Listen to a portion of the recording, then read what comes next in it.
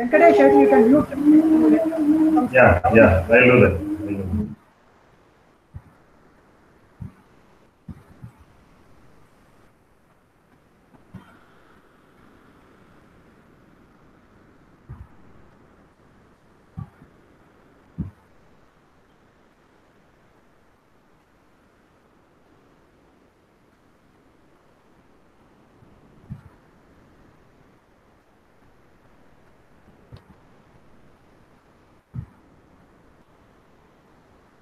So I'm now sharing my screen.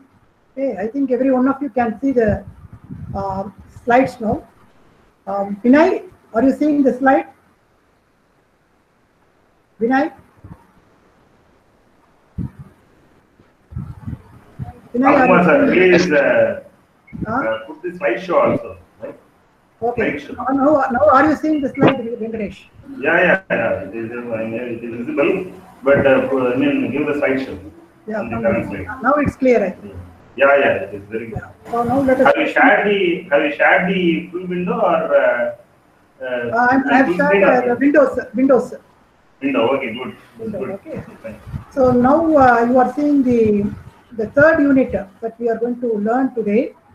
So you guys have learnt about uh, cascade control, feed forward control, Smith predictor control, and then um, uh, a different form called internal model control you learned, and some idea about ratio and differential control also.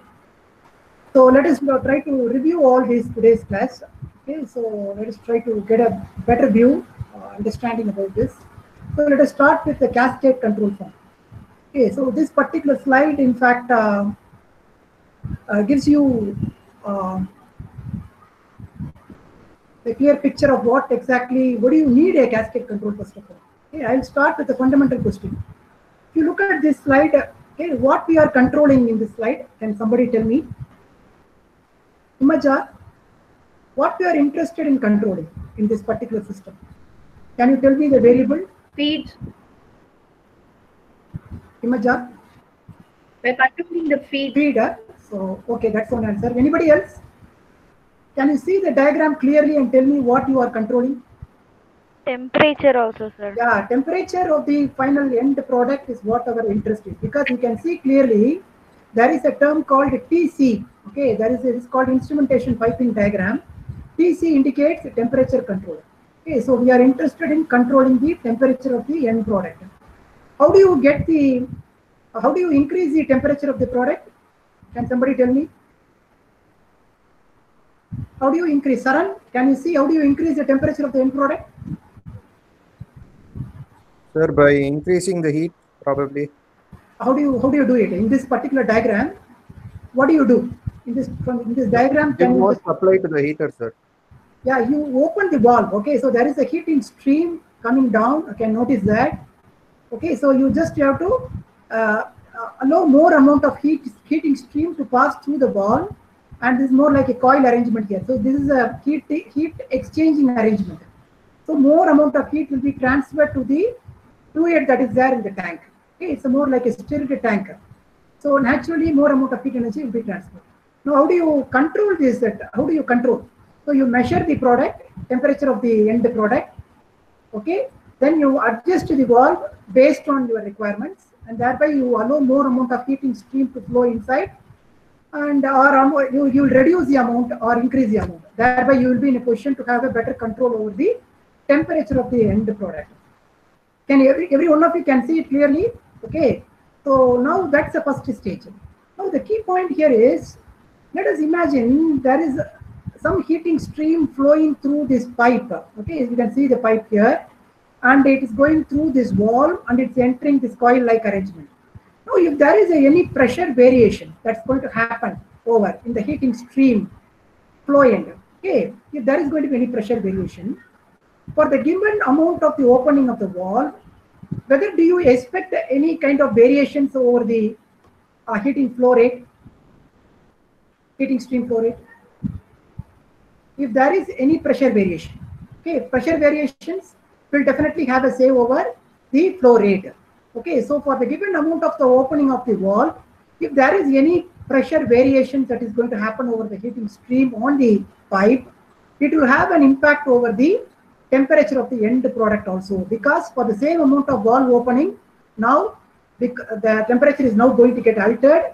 Now because of that, the pressure variations are going to act more like a disturbance over the end product temperature. Okay, can somebody just uh, tell me again what I said? Repeat again what I said. What is what is disturbance in this case? What do you mean by disturbance for this particular case? Anybody? If there is a uh, change in the pressure in the heating stream, it will be a disturbance to our model here, sir. Ah, that's what. Because we are. Why do you call it as a disturbance? Because initially the temperature controller, in order to maintain a given temperature, okay, it has opened the valve to a certain specific limit. Okay, that's based on the control algorithm. Now you have opened the valve and everything is going fine. The temperature is maintained at the desired temperature value. Everything is going fine.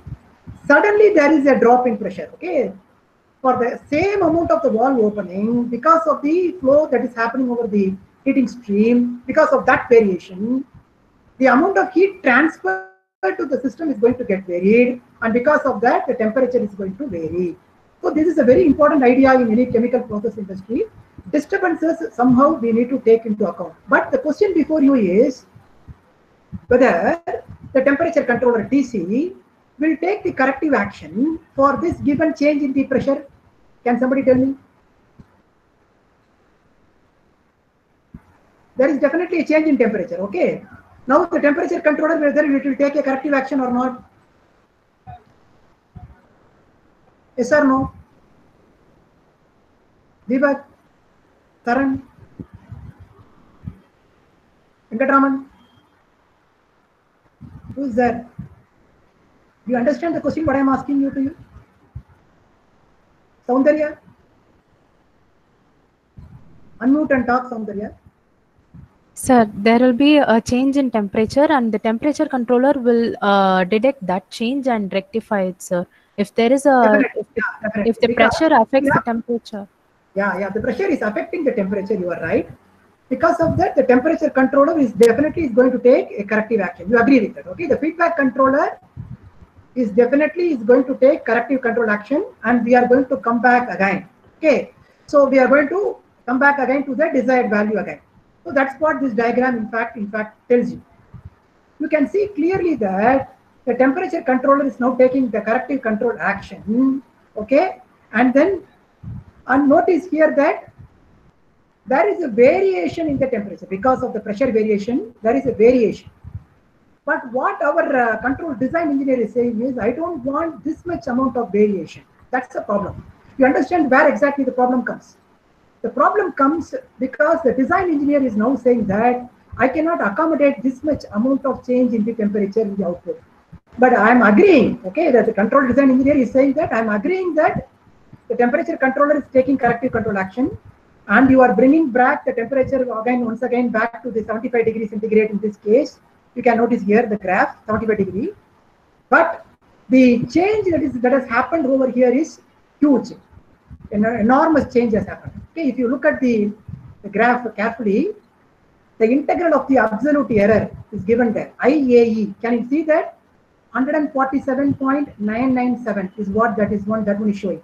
Okay you can see the integral absolute error as 147.9971 and the integral of squared error also 285 and the control design engineer is saying that controller performance is not acceptable for this given disturbance. Though the controller is taking the corrective action i will not agree with this. Can everyone see the problem clearly? Okay the basic feedback control loop is not sufficient for this given problem so we need to have a different configuration. We need to have a different kind of an approach. We need to have a different kind of uh, a paradigm shift in our uh, uh, addressing the problem. Okay, we need to have a different paradigm shift. So how do we do that? So that's where the idea of the cascade control comes. So now what happens is we are seeing very clearly that the heating oil pressure changes, it's definitely having a causal relationship with the amount of heat transferred to the system. Okay, so by adjusting the valve, okay, you are changing the amount of heat energy supplied to the system. Now, indirectly, the heating oil pressure variations will also have a say over the amount of heat transferred to the system. Naturally, both are affecting the end product temperature. So now we have to think, is it possible? Okay, the question before you is, is it possible to immediately satisfy or rectify the problem posed by the pressure variations or the disturbances without allowing it to affect the without allowing it to affect the end product temperature. Okay, so as soon as if there is a pressure variation, immediately you use a flow controller system, thereby you adjust the valve, make amendments for the pressure variations, and thereby maintain your temperature product, the temperature of the end product, the same value in a much better way. Okay, that's where the cascade control idea really comes into picture.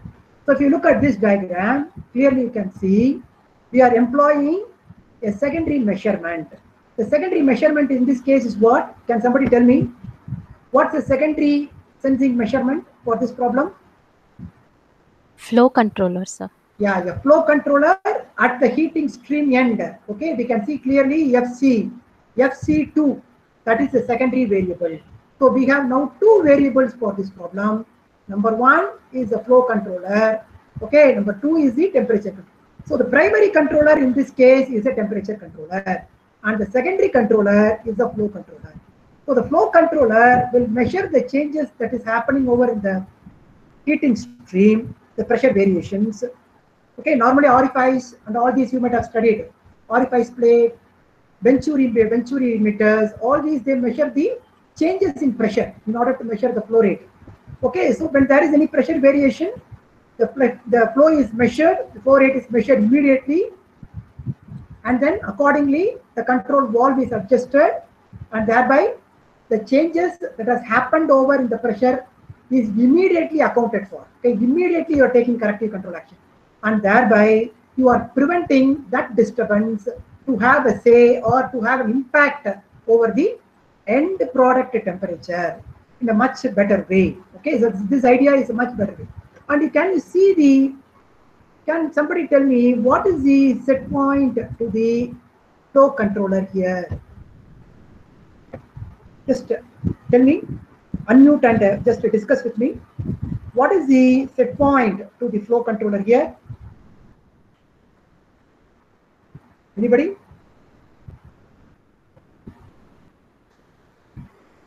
The output of the temperature controller.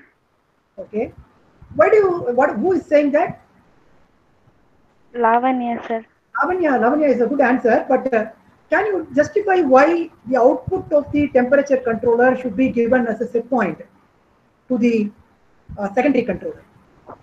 Uh, so basically, when the heat changes, uh, I mean, like pressure changes, the temperature also changes. So the change in temperature should be used to control the valve and not to uh, uh, manipulate the pressure which is coming inside. Okay. Okay, the temperature controller output, initially we were giving it to directly to the valve. Do you agree? The final control element. That is the basic feedback control loop diagram. Now we are taking that controller output, the temperature controller output, and you are giving it as the set point to the flow controller. Now, because of the pressure variations that is happening over in the flow stream, okay, there is an error now occurring. Okay, because initially you are at the steady state, the temperature is maintained at the steady state. Now, because of the pressure variations, the disturbances are affecting the steady state condition. Now, what happens? The flow controller is receiving a measurement value from the pressure variations. Okay, the flow the flow meter is giving the data. Now there is an error. That error is the difference between the initial value of the temperature controller output and the new variation that has happened over in the flow measurement. That is what the new error given us to the given as an input to the flow controller. Do you agree? Okay, everybody clear with this idea? How we are keeping the SP2, the, the manipulated variable 1 as the set point to the flow controller. Anybody having doubt in this? Everybody clear with this idea? Everybody? How we are giving the temperature controller output as a set point to the flow controller. Because initially when you are at the steady state, what will be the error given to the flow controller? The error will be at the steady state when there are no disturbances. What will be the error? The error will be zero. Okay, but when as soon as the error occurs, as soon as the disturbance has had an impact over the system, immediately the flow controller will start taking the corrective action and there will be error variations. The set point value will be deviated in this case. Okay, and thereby the secondary controller will prevent the changes. Now, if you look at the next slide, okay, you can see clearly when you are employing a single loop feedback controller, even though you are reaching the final steady state